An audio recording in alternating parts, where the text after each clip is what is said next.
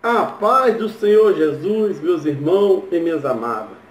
Estou aqui nessa noite para tirar uma palavra para você, para mim, para que o Senhor venha falar conosco nessa noite, no nome do Senhor Jesus. Você está aí com a sua Bíblia? Abra aí em Lucas, no capítulo 4, no verso 18 adiante. Vamos ler o que está escrito aqui na palavra. Assim diz o Senhor. O Espírito do Senhor está sobre mim, pois que me ungiu para evangelizar os pobres. Enviou-me a curar os contritos de coração, a programar a liberdade aos cativos e restauração da vista aos cegos, e pôr em liberdade os oprimidos, e anunciar o ano aceitável do Senhor. Amém?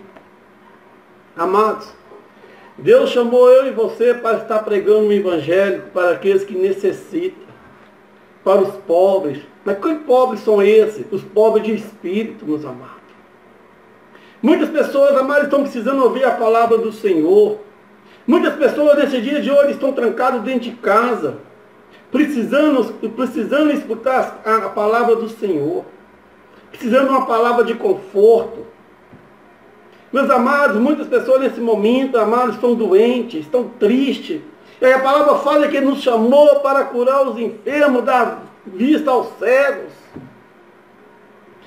Devemos, amados, fazer aquilo que o Espírito de Deus quer que nós façamos.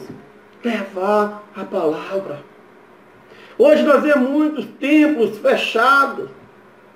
Hoje nós vemos igreja fechada.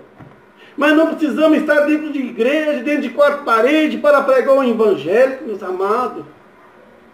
Precisamos estar aí levando a palavra às pessoas que necessitam. Evangelizando. Através de um panfleto. Podemos fazer panfletos, colocar aí nas caixas dos correios, se ter contato com as pessoas. Porque Deus vai operar da mesma maneira. Mas o Espírito Santo de Deus pedir para você entrar no hospital para levar a palavra daquele que necessita, devemos obedecer e ir, porque o Senhor nos ungiu com óleo.